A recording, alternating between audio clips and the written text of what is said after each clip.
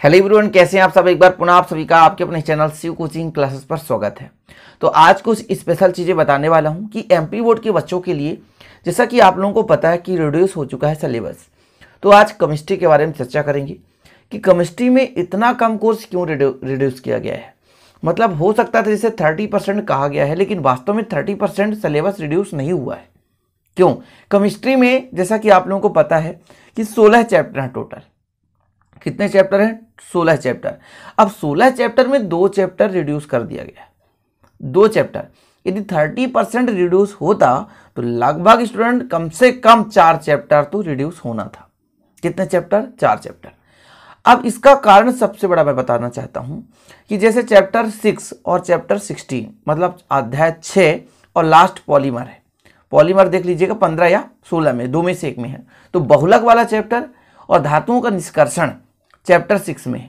ये दो चैप्टर हटा दिए गए हैं। मतलब अब आपका एनुअल एग्ज़ाम में ये दोनों चैप्टर नहीं पूछा जाएगा। सबसे बड़ा कारण क्या है कि ये दोनों चैप्टर थोड़ा सा थ्योरिकल है। मतलब थ्योरी है, इसमें ऑर्गेनिक केमिस्ट्री नहीं है उतना ज़्यादा।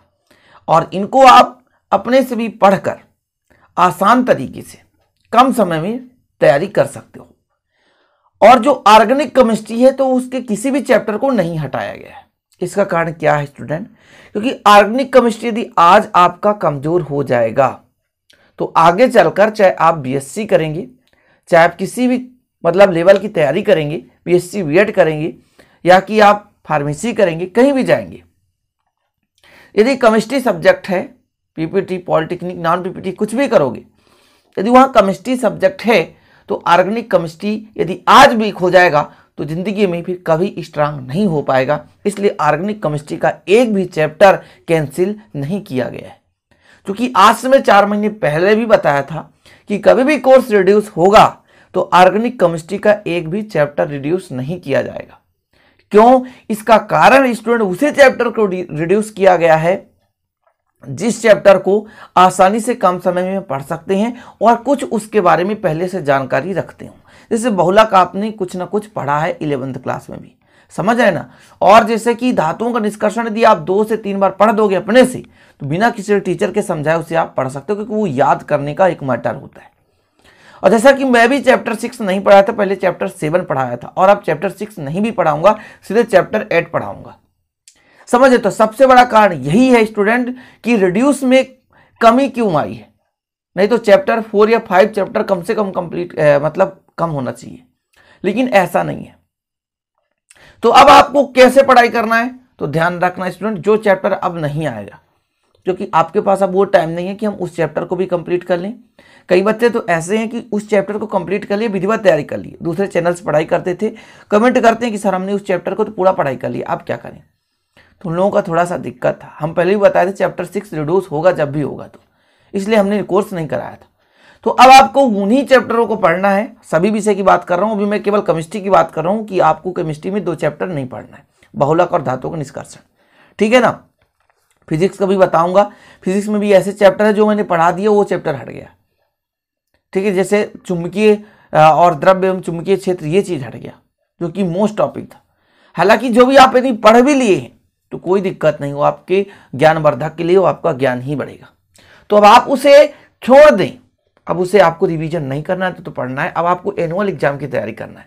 अभी हाफ़ ईयरली का एग्ज़ाम जो कंडक्ट कराया जा रहा है उस पर ध्यान देना। बहुत सारे बच्चों का कमेंट रहता है कि सर बताइए हाफ़ ईयरली में तो हमको ऐसे लिखना पड़ेगा क्योंकि बोर्ड एग्ज़ाम में तो नंबर जुड़ेंगे नहीं। तो भाई कभी भी कुछ भी फैसला हो सकता है इसलिए आप लोग अच्छे से लिखना अच्छे से टेस्ट देना। जो भी होगा, अच्छे से लिखना। कोशिश यही करना कि हैंड रिटेन और सारे क्वेश्चन अटेंड करें, ताकि अच्छे नंबर आए, क्योंकि वो पोर्टल पर अपलोड होंगे मतलब माध्यमिक शिक्षा मंडल में भेजा जाएगा। ठीक है तो पहला स्थिति तो यही कि अब आपको अच्छे से पढ़ाई शुरू कर देना है। अब बिल्कुल देर मत करना, यदि एमपी बोर्ड का रिड्यूस हो गया तो ये मत सोचना कि जनरल प्रमोशन मिलेगा। कभी नहीं मिलेगा। कभी जनरल प्रमोशन नहीं मिलेगा, मैं गारंटेड आज भी कह रहा हूँ, चाहे आप लिख लो कि शिव सर ने कहा था कि जनरल प्रमोशन नहीं मिलेगा तो नहीं मिलेगा। इसलिए आप लोग आज से, अभी से पढ़ाई शुरू कर दो। चैप्टर चौदह चैप्टर पढ़ना है आपको केमिस्ट्री में। जिसमें से स्टूडेंट मैंने सेवन चैप्टर तक करा दिए लगभग। इसके आगे फटाफट करा दूँगा, कोई दिक्कत नहीं है। बस आप लोग पढ़ें। यही इसी का इंतज़ार था। बहुत तेज़ी गत से वीडियो आएगा। लंबे वीडियो आएँगे। तो उस कोशिश यही है कि आप लोग अच्छे से पढ़ो और मैं कोशिश यही करूँगा कि ज़्यादा से ज़्यादा वीडियो आपको दे सकूँ। बस आप लोग पढ़ते रहो। और जो क्रैश कोर्स है, जल्द ही मिलेगा। शिव कोचिंग क्लासेस टू पर। तो क्रैश कोर्स भी आप लोग बिल्कुल नहीं छोड़ना, उस पर मोस्ट इंपॉर्टेंट क्वेश्चन करा जाएँगे। अब बच्चे कहते हैं, नब्बे परसेंट आ जाएगा क्रैश कोर्स में। भाई क्रैश कोर्स उसके लिए जो अभी तक कुछ नहीं पढ़ा, बस उसको पढ़ ले तो कम से कम एट्टी तक तो आ ही सकती है। समझ रहे हो ना? तो क्रैश कोर्स में एट्टी चांसेस हैं। नब्बे नहीं, क्योंकि नब्बे परसेंट उसी बंदे के आते हैं जो पूरा पढ़ाई करता है। कभी मोस्ट पढ़ने वाला का नब्बे परसेंट आता ही नहीं है। ये मैंने आज नहीं जब से मैं पढ़ रहा हूँ, तब से मेरा एक्सपीरियंस है, देख रहा हूँ। जो मोस्ट पढ़ता है तो एट्टी तक आ सकते हैं नाइन्टी नहीं जा सकता। कोई भी टीचर कहते हैं, ले लो मोस्ट क्वेश्चन इससे नाइन्टी प्लस आएगा। कभी नहीं आ सकता। एट्टी और नाइन्टी के बीच में आएगा। तो जो बेसिक से पढ़ता जाता है लास्ट में मोस्ट क्वेश्चन पढ़ता उसका नाइन्टी प्लस आ सकता है। लेकिन आप सोचो कि क्रैश कोर्स के दम पे ऐसा होगा तो नहीं होगा। तो आप लोगों को यदि अच्छे परसेंटेज लाने हैं तो टॉपिक वाइज करना पड़ेगा। लेकिन जो बच्चे अब तक कुछ नहीं पढ़े, उनके लिए क्रैश कोर्स ला रहा हूँ। समझ रहे हैं? तो यही छोटा सा वीडियो था स्टूडेंट और केमिस्ट्री में चैप्टर सिक्स और मतलब लास्ट में जो पॉलीमर बहुला है, उसको नहीं पढ़ना है, बाकी सारे चैप्टर पढ़ना है। बेसिक से पढ़ते चलो, अच्छे से ब्लूप्रिंट अभी उसमें नहीं आया है। ब्लूप्रिंट जैसे आएगा किस चैप्टर से कितने नंबर के आएँगे, कहाँ से ऑब्जेक्टिव आएगा, वो भी चीज़ मैं करा दूँगा। तो चलते हैं, फिर मिलते हैं अगले वीडियो में, तब तक के लिए जय हिंद, वंदे मातरम।